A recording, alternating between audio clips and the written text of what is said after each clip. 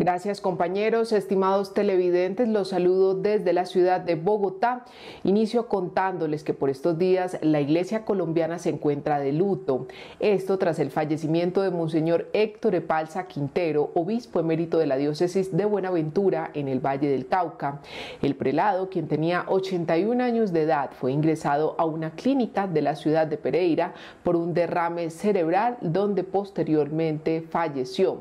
El pasado miércoles 3 de febrero, Monseñor Epalza fue trasladado a Buenaventura, concretamente a la catedral de esta ciudad, donde se realizó su velación, sus exequias y donde reposan ya sus restos mortales. La conferencia episcopal expresó sus sentimientos de tristeza por la partida de este gran pastor y defensor de los derechos humanos. Monseñor Héctor Epalza Quintero, obispo de Buenaventura, ha partido hacia el cielo y ha dejado para este pueblo un gran legado de lucha en favor de la dignidad de toda una comunidad. Se le ha denominado el obispo del pueblo y por eso nosotros hoy le rendimos un homenaje muy especial. Este obispo ha tomado no solo la misión espiritual, sino la defensa de los derechos, de la dignidad. Inspiró muchas marchas, la del 2017, para erradicar la violencia.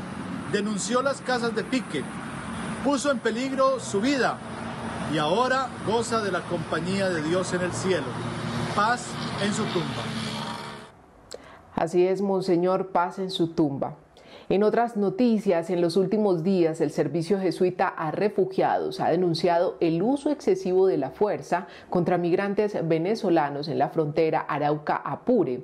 Esto en medio de los mecanismos usados para controlar su tránsito en ese territorio.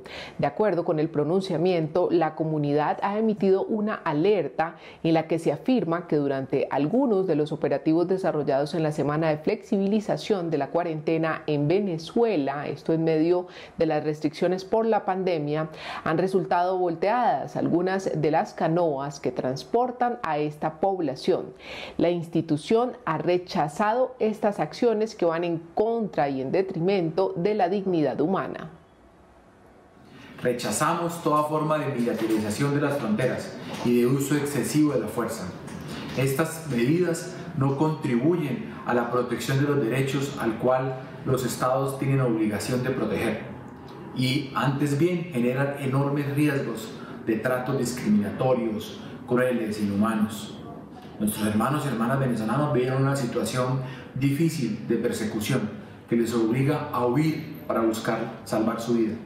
Nos unimos a las palabras del Papa Francisco en Fratelli Tutti, en donde nos convoca a todos a garantizar a todos los seres humanos un lugar donde desarrollar plenamente su vida. Muy bien amigos, esto es todo por ahora desde Colombia. Gracias a ustedes por estar atentos y nos vemos pronto.